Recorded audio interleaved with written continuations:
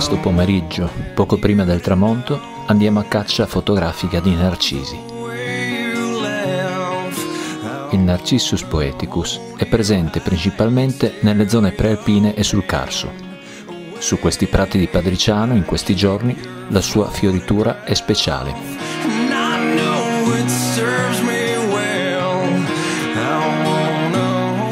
Siccome la specie era sottoposta a raccolta indiscriminata, è stata protetta dalle norme regionali a tutela della flora spontanea del Friuli Venezia Giulia.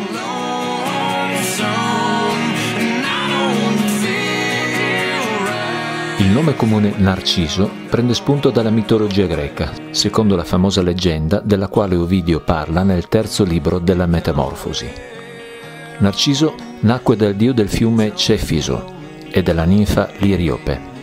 La madre, ansiosa per il futuro del figlio, volle sapere quale destino l'attendesse e interrogò il profeta Tiresia, la quale sentenziò che il bambino avrebbe conosciuto la vecchiaia solo se non avesse mai conosciuto se stesso. Col passare del tempo, Narciso divenne un giovane bellissimo ma dal cuore duro. Il suo bell'aspetto attraeva molte ninfe, ma Narciso non ne era interessato.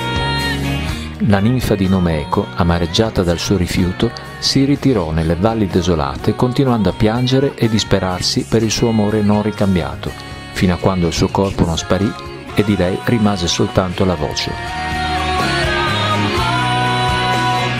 La storia di Eco colpì l'Enea Nemesi, dea dei delitti impuniti e irrisolti, la quale decise di punire Narciso.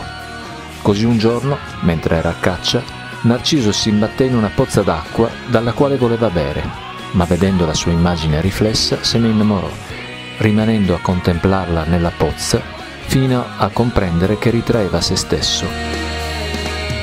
Consapevole che non avrebbe mai potuto ottenere il suo amore, si lasciò morire. Quando le Niaidi, ninfe delle acque dolci, e le Driadi, ninfe delle querce, cercarono di prelevare il suo corpo per svolgere il funerale, al suo posto trovarono un fiore, che fu chiamato Narciso.